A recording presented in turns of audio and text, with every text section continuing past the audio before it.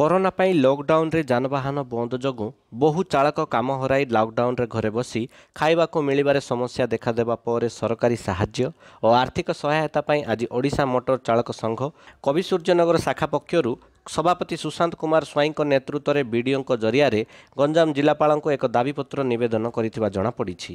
Lockdown ସୀମା ବୃଦ୍ଧି ହେବାରୁ ଜୀବିକାରେ ଅସୁବିଧା ଭୋଗୁଥିବା ସମସ୍ତ ଚାଳକ ସରକାରୀ ସହାୟତା ମାଗିଥିବା ଦାବିପତ୍ରରେ ଉଲ୍ଲେଖ ରହିଛି। ଗଞ୍ଜାମ ଜିଲ୍ଲା କବିସୂର୍ଯ୍ୟନଗରରୁ ଯୁଗଳ କିଶୋର ନାହାକଙ୍କ ରିପୋର୍ଟ। ଉତ୍କଳ ଖବର।